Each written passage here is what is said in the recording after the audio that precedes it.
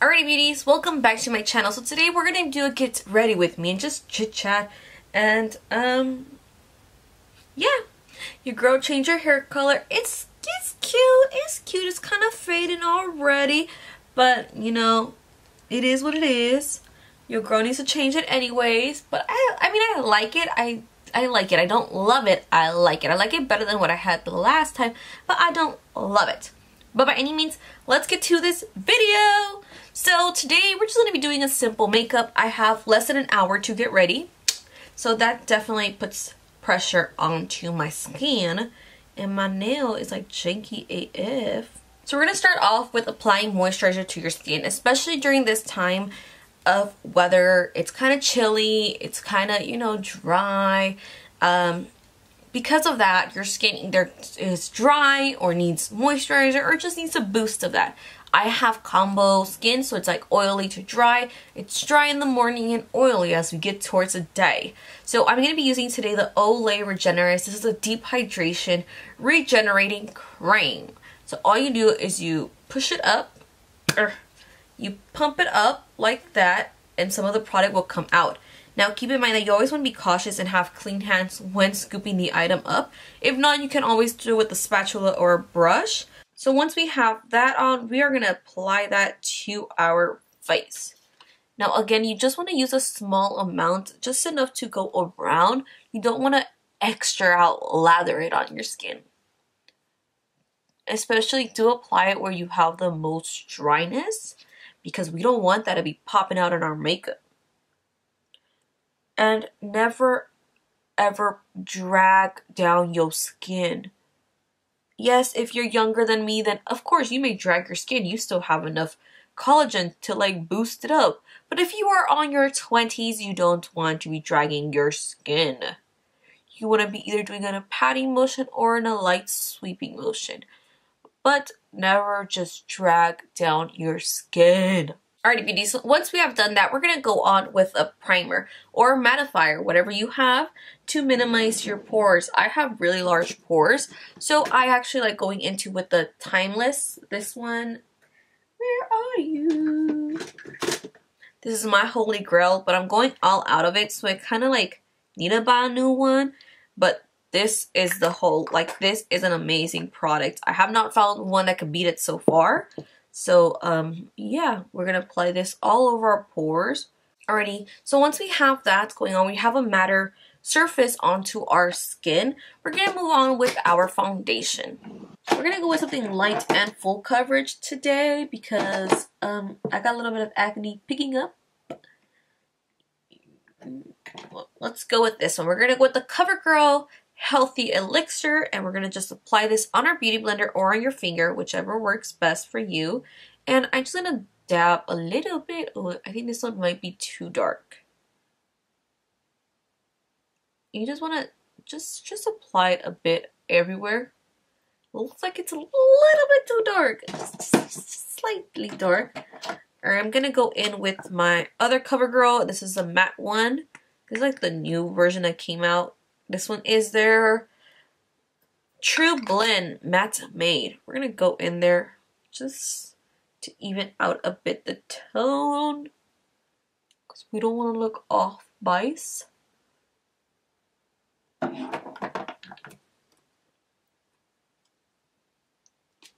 And then just brighten up a bit. Just a bit. Alrighty now, so we're going to go ahead with our wet beauty blender and we're just going to blend everything away. Oh boy, we're going to set this with some Airspun because this is actually one of the best ones so far that I've liked other than the Laura Mercier, which is a bit pricey. I need to get my hands on that um MAC one from Jet, um, Patrick Starr. Everyone says that is a good ass powder. So because it is winter and I do have dry skin, I don't actually currently bake compete completely. I just grab my dry, um, this is a Real Technique one, I just do the patting motion for it. So I know that it's pressed into my skin and it won't make me super oily, but it would have me dry enough or matte enough, you know, so I won't be like oily. during the day and this just sets my foundation. I leave this on for like literally like maybe 10, 20, 30 seconds and I just like brush it off. So before I brush it off, I actually use bronzer or, you know, just to contour a bit the cheekbones. Currently, the bronzer I'm using is the Celubite from um, Morphe. It's like this, it's like a two-in-one. It has like a bronzer and a contour. We definitely only use the bronzer. I think this is a contour side. Can't tell. But it's most likely the contouring side because it doesn't have a shimmery as the other one does. And bronzer usually always has like a shimmer to it. Alright, so now I'm to go in. Whoa, whoa, whoa. So now I'm to go in with my brush and we're just to dust everything through. Alrighty, now once we have that set, we're to go with our highlighter. And today, we're feeling a little bit more glamorous. So we're to go in with our Huda Beauty. And you guys, her highlighters are like, like damn girl, like just go lightly. So we're to go in with the Huda Beauty and we're to go in with this one and the one down below. Just a little bit of everything, you know, not as much. Because again, her highlighters are very pigmented, so you always want to go with the light hand. See, that's just me dabbing in once. One and one. That's it. And bam. Now, we're going to work, so we don't need to put that much glow on, and we just don't need to be that extra. What I like to do is I actually like glowing completely up to here. So I can already have my cheekbone and my brow bone glowing.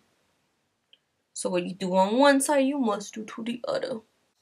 Alright, now we're looking pretty glowy. Moving on. Now we are going to do some eyeshadow. Let's see, what are we going to be into today? So depending how I am, sometimes I actually do my brows first and then my eyeshadow. But today, I think I'm going to do my eyeshadow first and then my brows.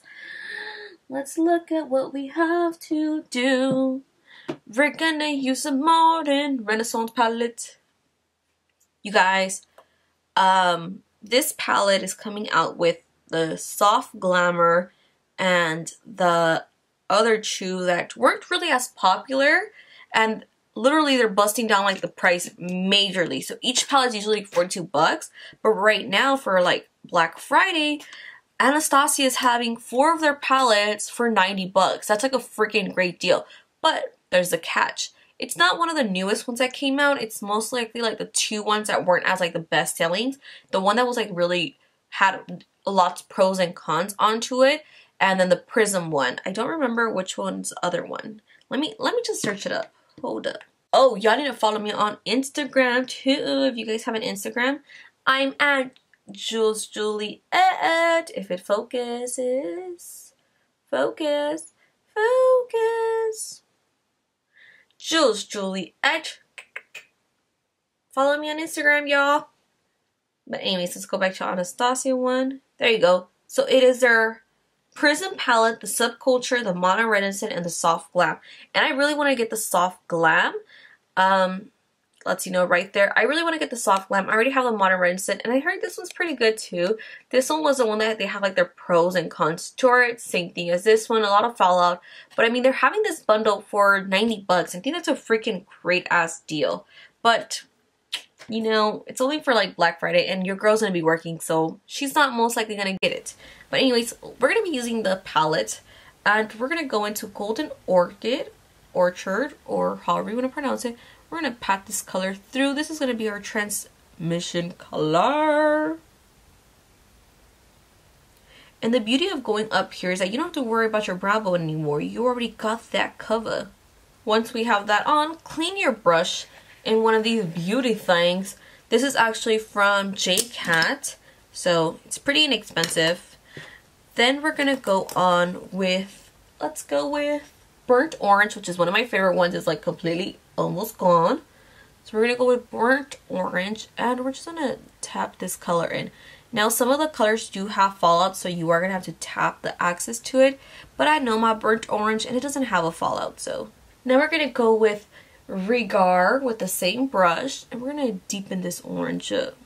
All right now, once we look like an orange raccoon, we're gonna add some other colors because this is way too orangey. So now we're gonna go in with the Jaclyn Hill color and we're gonna go in right over here where it says Power Cut, which is like a nice silvery color going on.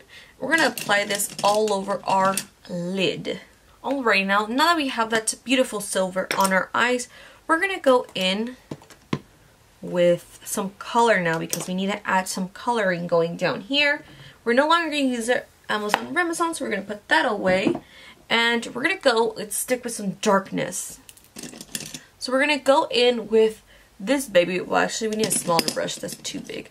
So we're going to go in with this one right over here. We're going to go with Potion, and then after Potion, we're going to go with the Inside Job. So let's get some Potion in here.